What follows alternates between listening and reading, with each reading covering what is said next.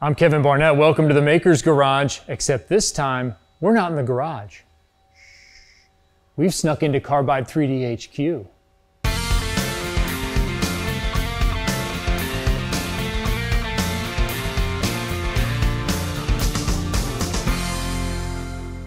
Welcome to Torrance, California, home of Carbide 3D, makers of the Shapeoko. We've snuck in because we want to share with you the new machine from Carbide 3D, the Shapeoko Pro, coming out momentarily. But before we get to showing you the details of that machine, let's take you for a brief tour of the history of Shapeoko. What began as a Kickstarter in 2011, an all wooden laser cut prototype, later became version 1. It was a proof of concept.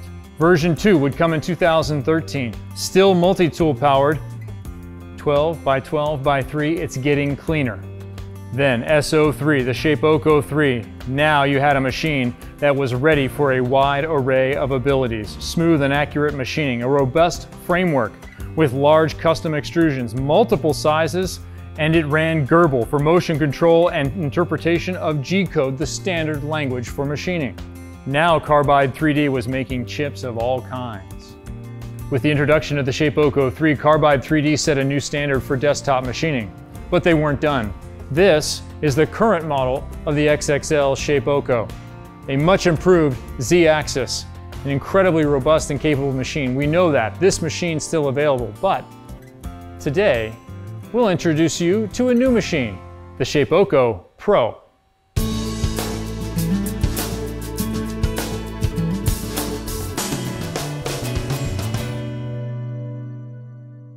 If you think we spent all that money on a PI to track people down and all that time tailing folks and all that money to copy the key here to HQ just to come in and hang around for a few minutes, you're wrong. We had a man on the inside and we're gonna talk to him now. Winston Moy, come on in. Hey, Kevin. Good to see you. Good to see you too. Thanks for joining us here. And now you guys are launching the Pro. We are. What Super was exciting. The, yeah, really exciting. What was the thinking behind it initially? Why go to a Pro? Well, we have the Shapeoko, which is a fantastic product, but people always want to push the Shapeoko harder. And so we thought, why don't we give them the ability to do that? Why don't we improve the Shapeoko, make it beefier, make it stronger, make it faster? And this is what we ended up with. Yeah, speaking of beefier and faster and stronger, let's start with the linear rails here and some of the improvements. What are the first things people are going to notice? The rails. So linear rails are great because they give you rigidity. That makes this machine super strong. It doesn't vibrate as much. You get better surface finishes on your parts. So overall, you can push faster. You can make better looking parts. And uh, overall, this machine is going to perform much better than the stock shape Shapeoko. I see it's a Z Plus over there in the middle, so we're still lead screw driven, but on the sides, belts, but much improved. Yes, so these are 15 millimeter belts, which means it's almost double the strength of the old belts. So these basically will not stretch. So you get rock solid cuts, um, much better accuracy, and again, much improved performance over the stock Shapeoko 3. Okay, in terms of obvious differences, I know you've already noticed, you're sharp out there, the bed. Uh, this is one of our favorite innovations. We call it the hybrid table. Uh, we thought we'd give people the best of both worlds. So you have integrated basically T slots uh, and MDF. So you could screw parts into this table. You could use T slots, use clamps. It gives you infinite flexibility for how you hold your parts on the Shapeoko Pro. Yeah, and I love that because these are so narrow. How wide are each one of these strips? Uh, each one of these strips is approximately three inches. It's about 75 millimeters in width. See, I told you he's an engineer. You get the exact answer. If you want exact answers, Winston Moy's your guy. And every now and then I break into metric. But I love the fact that it's three inches apart. Personally, I have the T-slot bed for the XXL standard Shape Shapeoko 3. But this one is so much narrower, you get so many more options. I find myself stacking pieces of wood across or making giant clamps to hold things down. we figured that the spacing of this should be a little narrower to give you more options because the standard T-slot bed, they're a little wider, a little wider apart. So this just gives you a lot more options. If your part's a little shorter, a little wider, you can just move one slot over. Um, and the other great thing about this is that these are really easy to cut down. So if you have a table saw, you can machine into this and then cut a new one. And the other thing is because these are raised from the aluminum parts by quite a fair margin, you can surface this down so that your table is dead flat, perfectly parallel to your machine axes. And I can do multiple times with that too. I can probably go through it a number of times. Yep, each time consistent. you'll just take down a, a fraction of a millimeter just to face it down, skim it down, get it flat, get it clean. If you cut into it, you can basically erase it and make sure that you're always starting with a surface that you trust that's flat. Yeah, I love this. It takes a whole aspect out of it for you at home. Work holding, the more work holding you have, the easier it is to operate, the more you'll enjoy your machine, to be honest. Yeah, and the more you'll make with it. Yeah, that's the idea. Tell me about the rigidity of this. This is a far different setup in terms of flatness, consistency to the bed of this machine. You've got a sharp eye. So we've got extrusions uh, for the T-slots going all the way back, and we also have multiple extruded rails going across. And these rails rest flat on the table, which means that there is no sag in this table. You could stand on it, you could jump on it, you could put 100 pounds on it, it's not going to move. It Hang on, let's give that a try. No, just kidding. This is as solid as your workbench. So whatever you put in here, it's going to be rock solid, it's going to be held to a system, and these supports also extend to the y-axis rails. We have multiple standoffs here so that there is no sag up here, um, and it is just super beefy. It's not going to move on you. So now we have work holding, we've got all this space. I know people are trying to choose what size, how much, but you want to maximize their usage of whatever space they have. Right. So we have such a great table system that we want to make use of this space. So we push the y-axis to the back of the carriage so that when the machine travels forward, the majority of your cutting area is over this hybrid table. So that's the big innovation here, and that means you can work hold parts, use the stability and the rigidity of this table system to its full potential. One of my favorite things as they continue to improve the SO3 model, the Shapeoko 03, which is still available here, XXL behind me, was the BitSetter. Ah. Thank God for the BitSetter. It saves so much time. Whoever it is, yes, the BitSetter. Now you've integrated it into the machine. It is. So that is one of the most useful tools you can have on a Shapeoko. And we figured we don't want this machine to be without it. So the BitSetter is standard, which means when you're doing programs with multiple tools, you need to change an end mill, uh, you can just automatically go touch off on the BitSetter and keep going. Uh, it's such a useful feature. We figured that it had to be standard on the Pro. One of the other things that catches my eye is the robust nature of this machine. Gone is the sheet metal. Hello, billet. Yeah. So when we were conceiving this machine, we wanted to make sure that everything that comes together that needs to be precise is machined. So the ends of the rails are machined, these plates are machined, all the interfaces are going to be straight, perpendicular, whatever it needs to be, it'll be accurate. This machine, when you put it together, will just come together. It'll be shockingly square right off the bat with almost no adjustment. Okay, we've gone through a lot of the physical makeup of the machine. What about the guts? The guts are different, aren't they? Uh, so we have an upgraded controller board. Uh, leveraging everything we knew about the old Shape Shapeoko, we knew that there's so many other things we need to add. We're switching to inductive switches. We have the BitSetter.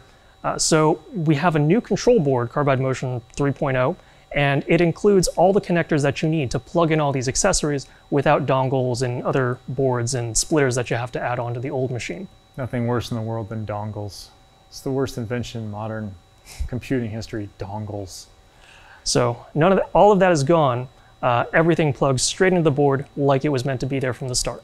Now, I I don't want people to get discouraged about the machine that's next to us. It is an incredibly robust machine. I've used it for years and years in terms of being square and accurate.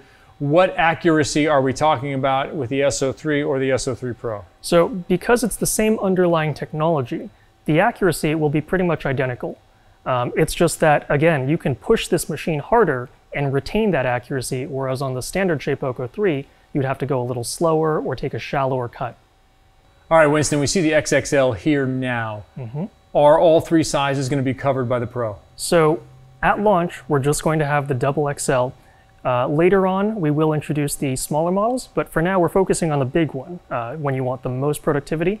Once we get everything settled with the big machine, then we'll expand our product line and bring the improvements of the Pro platform to the XL and the standard Shapeoko 3. I like this. Just I, you know, this this does it for me. Just the power button It integration is- right into the rail. It is quite nice. Um, it is a great way if something goes wrong that you need to shut down the machine, and it also gives you a good visual indication that the machine is on. And this is again one of the uh, improvements that we added uh, in terms of integrating everything with our new electronics and just rethinking the entire structure to be able to put nice things right at your fingertips. Can we run this thing? Can we cut some stuff? Yeah, I don't see why not. All right, let's, Let's, throw some uh, aluminum on here, or brass, or let's search the store, whatever we can find. Let's start cutting it. Maybe a pizza box.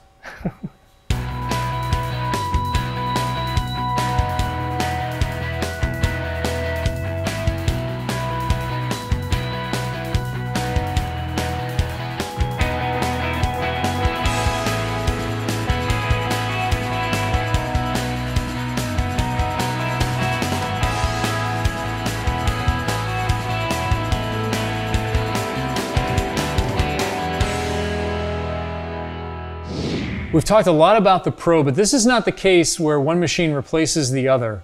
Carbide 3D is adding to the Shapeoko profile. You can still get an SO3. Right. Uh, we didn't want to eliminate the Shapeoko 3 because it is a really great value, and we didn't want to raise the, uh, the price of entry into the CNC world. Uh, so if you're looking for value and you're looking to make parts, this is still a really great way to get into CNC. But this is a much improved machine from where it started. What are some of the major things that are better about this machine right out of the box? The biggest recent change is that the Z Plus, the lead screw driven Z axis, is now standard. So instead of having V wheels on the Z axis carriage, they've been replaced with linear rails, which are much more rigid. They have almost no flex. So not only will this give you better quality cuts with less vibration, just like with the um, Pro, uh, this is just overall a much more sturdy uh, part. It has a higher resolution in terms of the z-axis, so you can get really precise depths of cut. Again, we're raising the bar on Shapeoko. So it's easier to go onion skin on this one. Right. It holds that uh, depth of cut much more precisely. Um, and we also have inductive homing switches on these machines now. So uh, there's no contact when you go to home. There's almost no possibility of crushing your switches if you crash the machine. Fantastic. Yeah, inductive limit switches are something that is new for here. In fact, when I bought my machine, there were no limit switches at all. I had to get it as a kit afterwards. Yeah, uh, these are great because they're non-contact, which means you can't crash these switches or break them. There's no moving parts on them. And this machine is available in three sizes right now. Right, uh, correct. That has not changed. We still have the stock size Shape Shapeoko 3, which will do about 16 inches by 16 inches. We have the XL, which will do 31 by 16 and we have the double XL, which will do 31 by 33. What are the dividing points for choosing a size right now with the Shapeoko 3 and in the future with the Shapeoko Pro?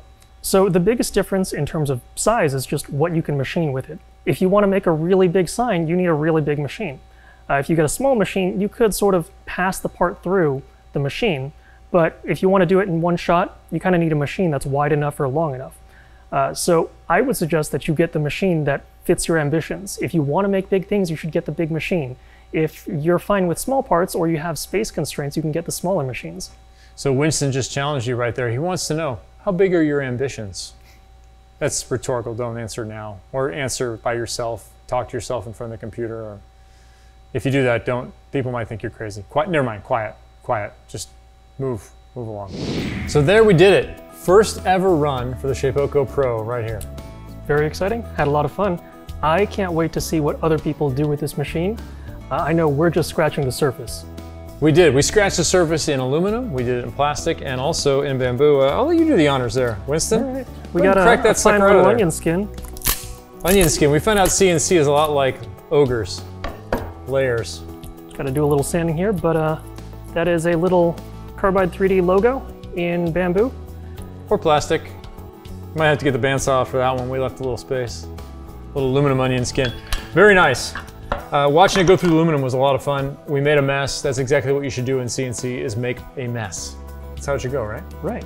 Uh, that more mess means more fun. Very so good. Uh, go have yourself some fun. Winston, thanks for being here. Thank you for uh, having me. Who says crime doesn't pay? A little B&E breaking and entering here in Torrance, California paid off we got to be here in Carbide 3D's HQ. Shapeoko Pro, Shapeoko 3, there's options there for you. So jump into the CNC community and join us at Carbide 3D and join us again for the Maker's Garage.